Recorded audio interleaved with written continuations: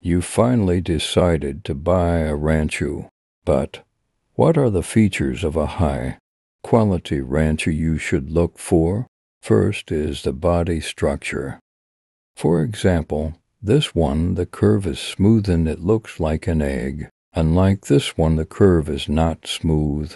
That's why some ranchu is cheaper than a smoother body structure. That's why being a fancy goldfish breeder and groomer is not easy. You need to call and groom them to a high quality, and it may take months or even a year. Second quality to look for is swimming pattern. Observe how this fish swims. As you can see, this fish swimming pattern is graceful.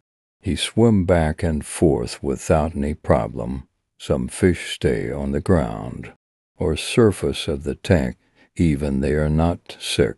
It may be